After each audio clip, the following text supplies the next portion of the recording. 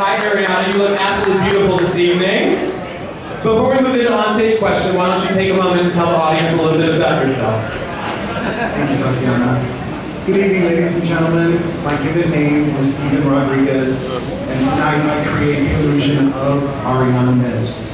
I'm a 38-year-old Gemini from Macau, Puerto Rico.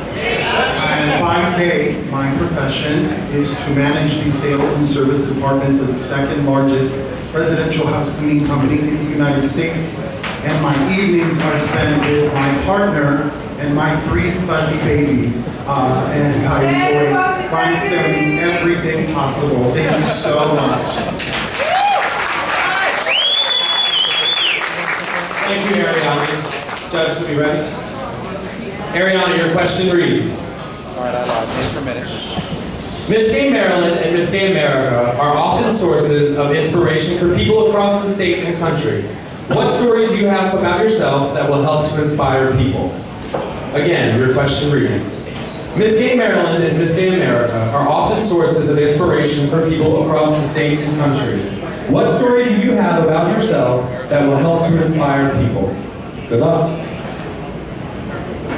Thank you so much. Ladies and gentlemen, I stand before you, 38 years old, a professional, and this is my first time competing. Anyone is capable of doing this. If you put your heart and your soul into this, you can learn this craft.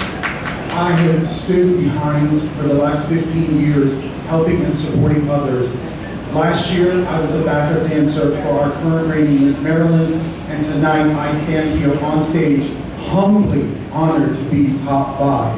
So thank you so much, ladies and gentlemen. What I tell you tonight is if you believe, you can achieve anything you want. Thank you so much.